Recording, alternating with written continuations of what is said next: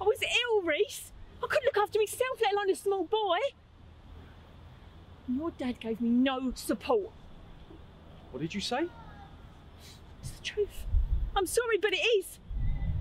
Do you have any idea what it feels like coming second best to a fucking punch bag? When you know that your husband would rather spend more time with another man than he would with his own wife. Would you like to go and see your grandma?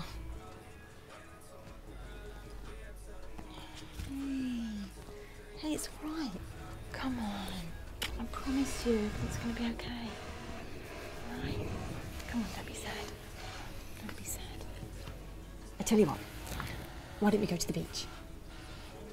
I've never been to the beach before. You've never been to the beach before. What are we waiting for? Mr. Candy's in the car out there. So we'll go and pay for these and what about going and get some buckets and spades? Yeah? Come on then. Communities must come together to ease tensions and to succeed where the politicians have clearly failed. As a country, I, I feel we have placed a foot on the wrong path. But there's still time to find a better way, a way for all of us. He doesn't need me. He's made that perfectly clear. He does. And to be honest, so do we. You're our last hope. And if you can't help him, then I don't know what we're going to do. The fight is just around the corner, and we have got to get through to him. There was this um, this guy at my my AA group. His name's Billy.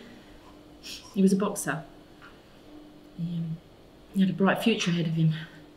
He fought in the Olympics back in 2008. Had a couple of big fights after that. Daniela. I cannot fathom what I have just been informed of.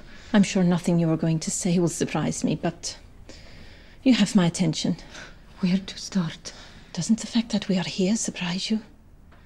This is beyond anything our imagination. Why don't you come with us? I can't just leave my business.